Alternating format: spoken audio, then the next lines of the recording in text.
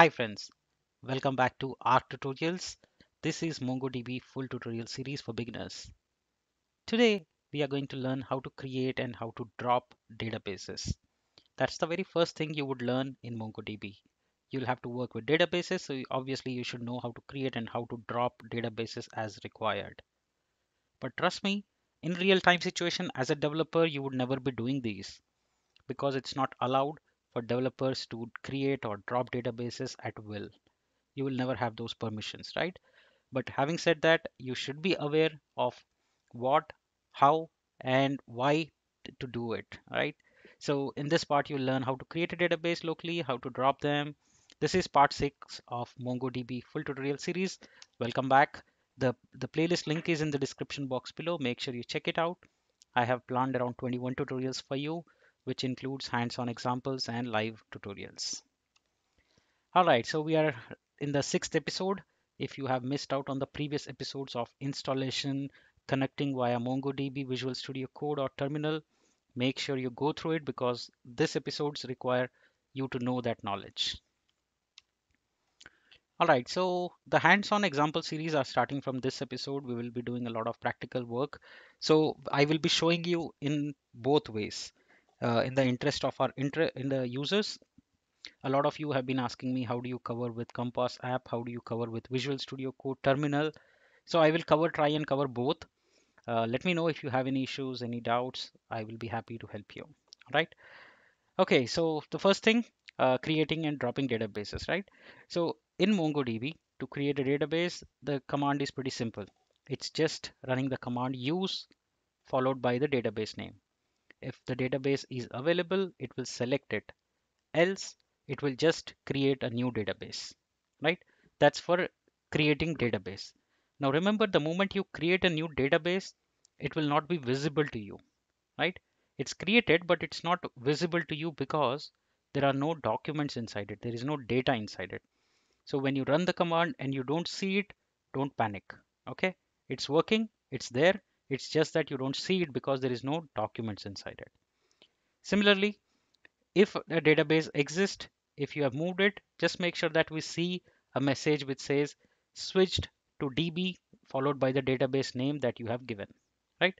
So let's see that in action. Uh, before that, let's also cover this command to remove the or drop the database, right?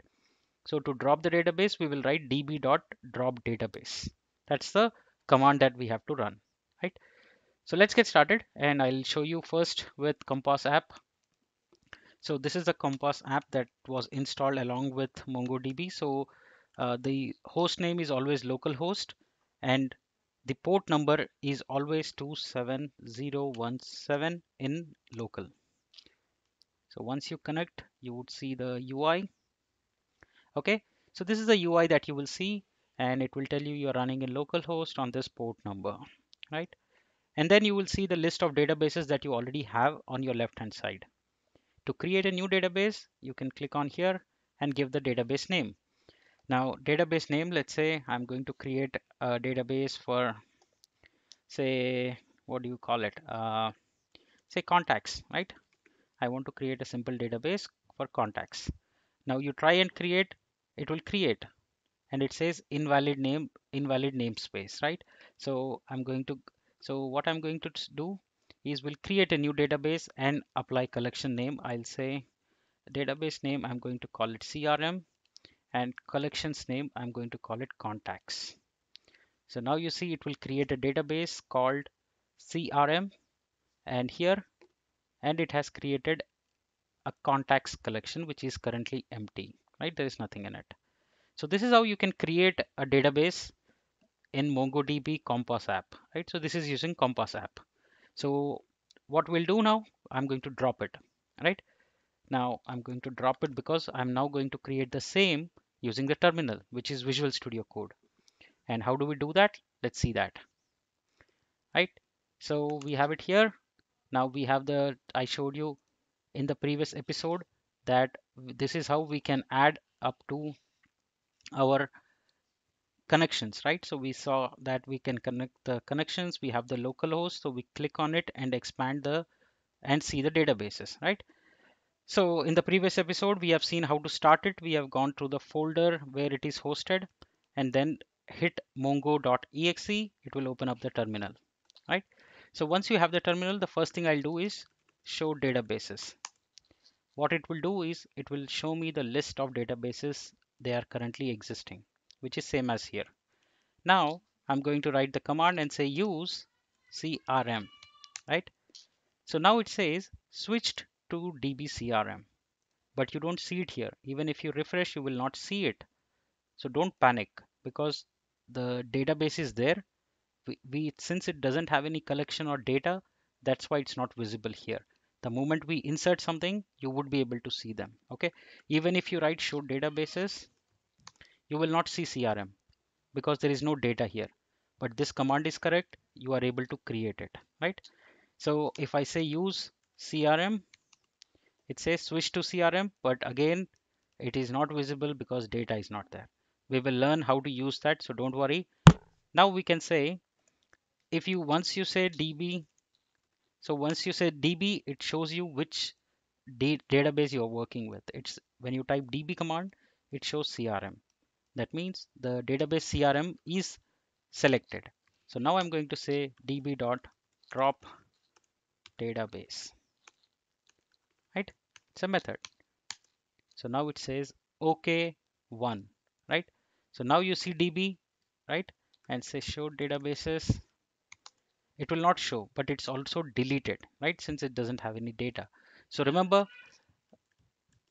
to create a database you'll use the command use database name it will not be visible to you unless you insert some documents or collections inside it to make sure that which DB you're working in, make sure you type the command DB. Now let me show you that one last time. So I have a DB here testing. It has some data. It has some documents.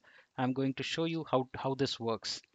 So I'm going to say use testing DB. So now it says switch to DB testing DB, right? So now I'm saying DB dot drop database. So it says dropped testing db okay one. Now refresh this and you see that it's gone right? The database testing db is deleted right? So that is how you can create or drop any databases. So go ahead create your own database create your, and drop them. Learn these commands learn how to use it in compass learn how to use it in graphical interface as well as in terminal because you will want to understand learn and pra practice the commands that are used in MongoDB, right? So the commands that we saw today are pretty simple and straightforward. We have seen today use first show databases, right? So this will list down, list all databases in MongoDB. That's number one. Number two, we have when you type use database name it will select the database workspace as current working DB. Okay. Third, we have seen is when you type DB command, it will show you the database you are working currently in, right? And then we have seen so we can also see this use database has two methods, right? It has two behaviors. One is to select if it's there. If not, it will create, but but it will not display till we add some collections slash data inside it, right? So remember that. All right, so that was number three. So number four is now the fourth one is if you want to drop this particular so to drop to delete or remove any database first you first to drop a database first we need to select the DB using use command right use database name then we will run the command db dot drop database right if you run this you would be able to create and you will be able to drop databases in MongoDB. Now I want you as a homework, right? As your homework, try this out with three things. One, try with Compass app, which is your GUI tool. You can, you should also try with Visual Studio Code extension. Okay.